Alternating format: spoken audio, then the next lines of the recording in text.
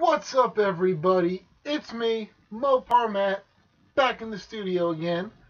Um, I haven't been able to do any um in-store hunting lately, but um, I felt like putting a video out, and I figured what better to do a video with than all my super treasure hunts. Um, now I don't I don't have a lot, um, but I do have a decent enough amount to to fill up some airtime. Plus, I've got a big announcement for a project that um I'm working on. That when it is done, come next spring, you guys are going to. I, I I'd like to think you guys are really gonna like it. But first, let's get to the treasure hunts. In chronological and sometimes case order, first off, um, you guys recently saw me, um, or should I say, saw this on video, that I just acquired this from the last swap meet near my house. This guy from 96. Love that red. Um, then we jump up to 2003. The um, Midnight Auto. I still got this guy. Very nice. Although, I may be going part with him soon.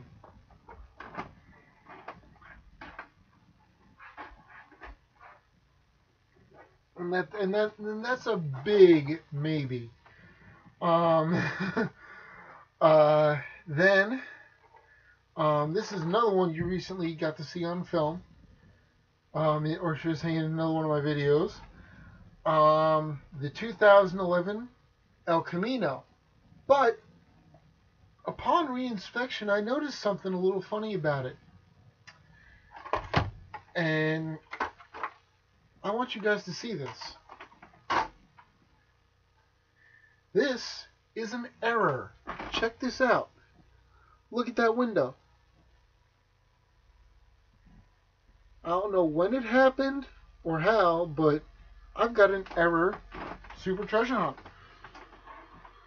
Um, uh, yeah, I, I honestly don't know how I missed that when I first showed it.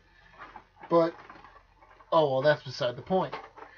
Um, and of course, those of you who have the next one, those of you who have watched my videos for a long time now, um, remember how I reacted when I got this in a box from Tom Paul Fran. The 2012 Chevelle SS396 and in case you're watching TPF, I still have the receipt and the Protecto like you gave it to me.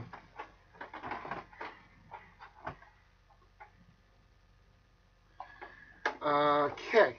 Uh, next up on the block, uh, from this is 2013, um, 69 Camaro. Once again, loving that. Whoa, computer glitching. Computer, computer lagging. Um, I don't know if that transferred to you guys, but on my end, I still have the computer lagging a little. Um, then, of course, we start with the 2014s, the massive amount of them I have. Um, Chevelle. I knew I had to get me this one not only because of the dark purple color, but also I love 70 Chevelles. Um, then um, the next two are part of the big trade offer that I'm doing for Superbird, Super. The twin mill. Show this once again, since it is still part of my collection. And same story with this still in the collection, so I'll show it. Nova station wagon.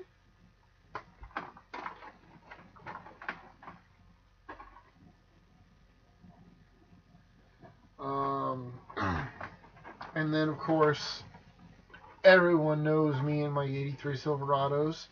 If you saw my last video, you saw the picture of the truck, which is the reason why I'm so obsessed with 83 Silverados. And if you missed that video, go check it out. Um, 83 Silverado, I had to get, had to acquire that piece. Um, and the third uh, Super, that's part of that trade deal that I still have on the table for anybody. Greenwood Corvette, still part of the collection, so I'll show it.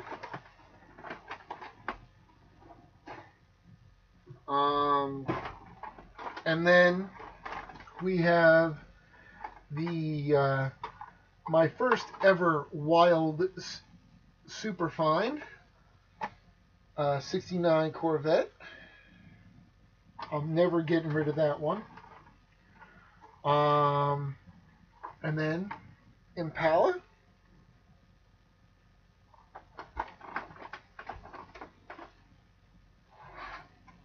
And then, so far, the only two 2015 Supers I have, 8 crate.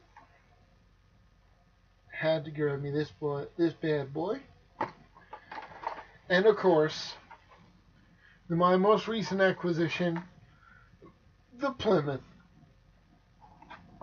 I want another one so I can crack that one open. Um, so just uh, bear with me for about 10 seconds here.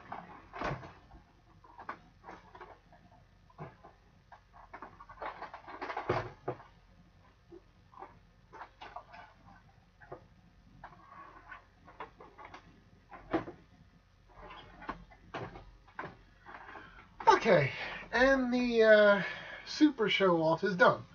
Um, but I did say that there's a announcement I want to make. Um, first and foremost, the contest for the Frankenrado is on hold for I don't know how long. Um, some really critical family issues have arisen, and I'm just gonna have to stop it where I'm at as far as the construction of that vehicle. Um, I am sorry. I know that there are some people out there that are really looking forward to that contest, but I'm sure you guys will all understand family comes first. Um, but um, I'm planning a little bit of a project for, um, that you guys may remember for a while, a little while back. I was saying that I was stockpiling up on 83 Silverado castings. Well, I think the stockpile maxed out at about 11 of them. And let's just say this. Um, there are two people that I know watch my videos. They know what I'm planning. But next spring, after I finish building it and can spray paint it next spring, I will debut to the world a project involving a bunch of those 83 Silverado castings. I'm not going to hint anymore, but let me just put it to, I'll, I'll, I'll tell you this much. I'll give you this much information. If you thought the original Frankenrado was bad at, BA, I stopped myself there. Um, it ain't nothing. That's all I'm gonna say. I have to keep this one a top secret surprise. Um, so that's pretty much it for this video, guys. Um, I've got nothing else to show as of yet, but that's okay. when when the boxes come in, they come in. Um. so I'm pretty much I pretty much got to wrap this up because I got to start getting ready for work tonight. Um, but as always, it's me, Mopar Matt. I will see all of you later. Bye.